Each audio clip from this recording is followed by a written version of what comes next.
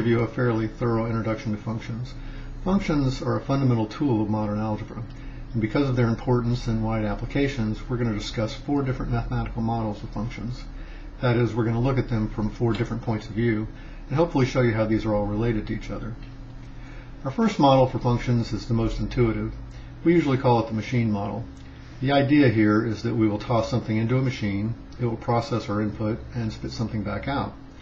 In order for our idealized machine to be a function, it has to meet the following requirement. Every input value can only produce a single output value. In the end, there can be only one. In the example shown here, our input is some serving of food, which the machine analyzes and outputs the calorie count. For any specific input, there would be only one output, so this machine would be a function.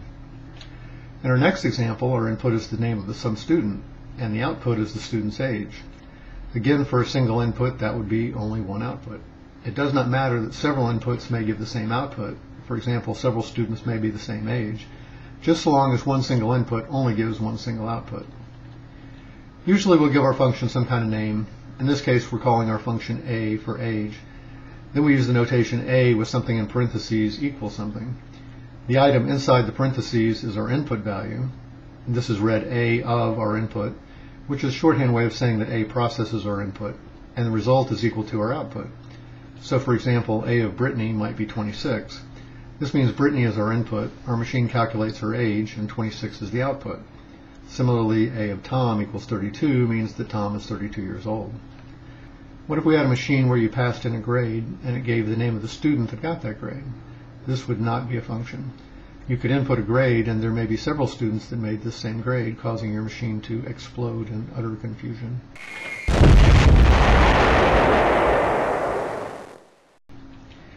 Here's another machine which we're calling f. If you throw a number into f, then it multiplies it by 3 and subtracts 8. Clearly this is a function since pushing one number in gives us one number back out. For example, if we find f of 6, remember this means that 6 is your input value, we take 3 times 6 minus 8 and get 10 as our output value. Similarly, f of 0 equals 3 times 0 minus 8 equals negative 8. In general, for an input value of x, our output value f of x will just equal 3x minus 8. Our next function uses the rule that if x is input, the output is x squared minus x divided by 2. So h of 5 says to plug 5 in for x, which is 25 minus 5 divided by 2, or 10. H of minus 2 says to plug in minus 2 for x. Now be careful with the negative sign. We get a positive 4 plus 2 divided by 2, or 3. What if we had h of t plus 1? This says to plug t plus 1 in for x, and we get t plus 1 squared minus t plus 1 divided by 2. t plus 1 squared is t squared plus 2t plus 1, and distributing the minus sign gives minus t and minus 1. Combining like terms gives us t squared plus t divided by 2. For our last machine example, consider a calculator, an actual machine. It has many built-in functions. A logarithm is a typical one. We type in a number like 1000, this is our input, then we hit the log button, and this is like throwing it into our machine, and the output value is 3. We can write this in our shorthand form as log of 1000 equals 3. Now let's go to our next model, which is defining functions using ordered pairs. We use the notation a comma b in parentheses to denote an ordered pair. It's called an ordered pair because it's a pair of numbers and it's ordered. That is, order matters. 7-2 is not the same as 2-7. When we use ordered pairs, we want the first number to correspond to our input value and the second number to be our output value. So we have a couple of definitions. A relation is a set of ordered pairs, and a function is a relation where each input value has only one output value.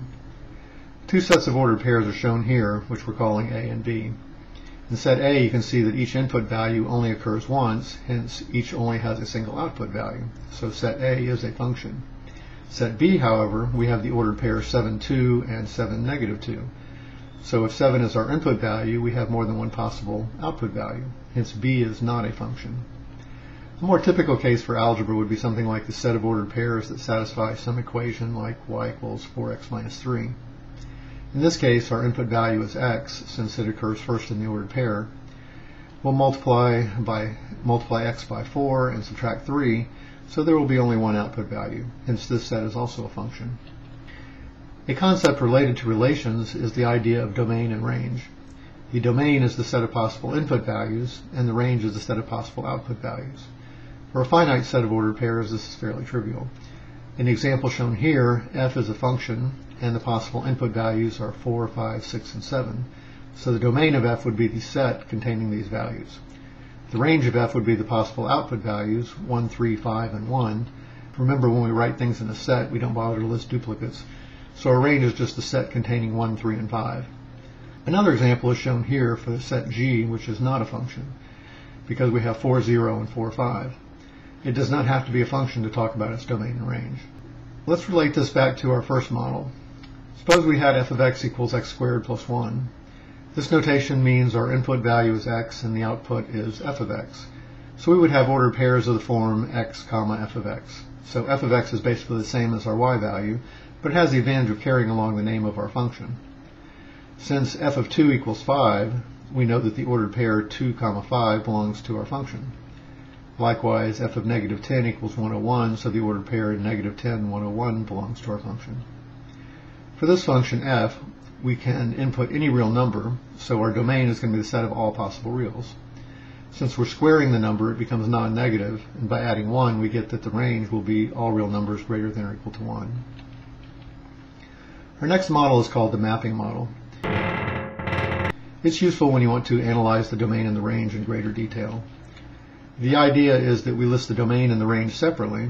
We draw an arrow from each input value to its corresponding output value. So the mapping shown here is identical to the set of ordered pairs 1, 0, 3, 10, and 5, 0. Two mapping examples are shown here, and you can see that g is clearly a function since each input only goes to one output.